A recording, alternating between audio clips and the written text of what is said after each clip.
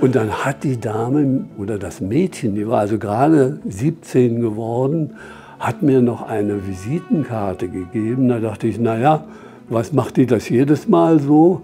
Aber wir haben uns dann die nächste Woche schon wieder verabredet und in der Zeit auch selbst in dieser Woche enorme Liebesbriefe schon geschrieben geschrieben. Immer samstags verabreden sich die beiden und trotzdem schreiben sie sich gegenseitig mindestens zwei Briefe unter der Woche. Das war nicht nur so Hallo und ich habe gerade jetzt von der Schule oder so, sondern die gingen tiefer. Beziehungen zueinander und war also sehr, sehr viel. Ich habe einen Liebesbrief in einer kurzen Zeit acht Seiten geschrieben. Ja. Für mich war das herrlich, ja, weil sie richtig ansprang. Und da war meine Frau ein idealer Partner. Und dann fing das auch an, dass ich natürlich Sachen, dann habe ich ihr ein Bild hingeschickt oder wir hatten auch einen, so einen kleinen Plastik-Donald. Das war unser Talisman. Immer irgendwie eine Verbindung zu suchen. Oder ich war mal den ganzen Monat in Böblingen abgeordnet, aber auch in der Kennenlernzeit.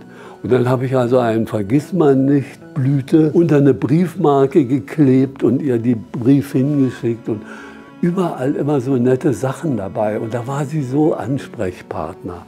Und das war für mich und mein Gemüt der ideale Fall.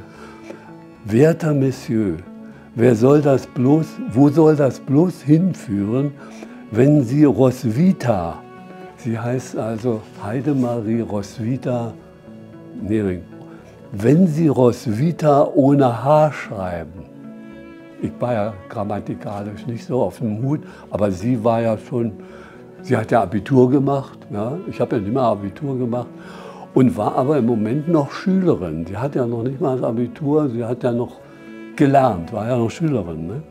Hat er erst, glaube ich, ein Jahr später wenn Roswitha ohne H schreiben und wenn Ihnen ganz beiläufig ein Du aus der Feder gleitet. Ein Fauxpas, für das sich Günther Nehring bei Heidemarie im nächsten Brief entschuldigen muss. Früher war das ja so, dass man äh, grundsätzlich erstmal Sie sagte. Man ging ja auch mit Schlips zum Ball und so weiter. Man zog sich auch vernünftig an. Ehe man dann Du sagte, ich habe das extra in meinen Liebesbriefen nochmal nachgeguckt, ab wann wir Du sagten, das war also frühestens nach einem Vierteljahr. Und von wegen Kuss, ja, also das ging ja lange, lange, lange, lange nicht. Und dann gab es erstmal so den Handkuss. Also das war aber schon der Übergang. Das machte man nicht immer, ja. Aber dann küsste man sich erst ganz leicht, vielleicht mal auf, auf die Stirn entschuldigte sich vielleicht noch, dass man zu nahe gekommen ist und so weiter. Man ging zwar immer Arm in Arm, das war also schon üblich, aber ehe man so die, die nächsten Beziehungen hatte, das ging dann schon eine ganze Weile. Ja. Eine ganze Weile lang schreiben sich Günther und Heidemarie Briefe hin und her. Günther Nehring macht Komplimente und imponiert, nicht zuletzt mit seiner Studienreise nach Frankreich. Und da war das natürlich mein Thema. Ich war in Frankreich und hallo, Mademoiselle und so weiter. Also das äh, hat ihr vielleicht auch noch imponiert. Und sie hat mich später in dem ersten Halbjahr immer als Monsieur betitelt. Später wurde aus dem Monsieur ein Monsi. Und dieser Name Monsi war ihr Leben lang der Rufname für mich. Also Günther gab es nicht, Monsi. 115 Liebesbriefe schreiben sich die beiden innerhalb der ersten vier Jahre, bis sie heiraten.